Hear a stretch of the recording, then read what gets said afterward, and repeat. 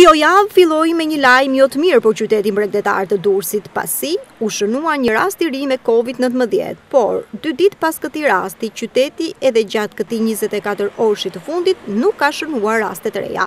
Në informimin e sotëm në lidhje me situatën e COVID-19, Ministria e Shëndetësisë bëri me dije se gjatë 24 orëve të fundit janë evidentuar 12 raste të reja pozitive nga testimi 255 personave të dyshuar si mbartës të këti infekcioni ose të sëmur. Nga ky raportim mësohet se rastet janë shpërndarë me Fierit, Krujës, Kamzës, Shkodrës dhe Tiranës. Po ashtu, si që paracitet në tabel, për fatë mirë, dursi nuk ka asë një rast tjetër.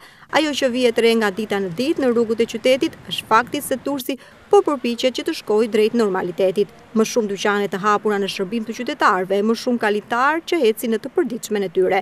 Në përpjekje për të kapu ritmin dhe në përpjekje për të respektuar regullat e përcaktuara për parandalimin e përhapjes të COVID-19, qytetarët shihje në lëvizje më të shtuara në qytet.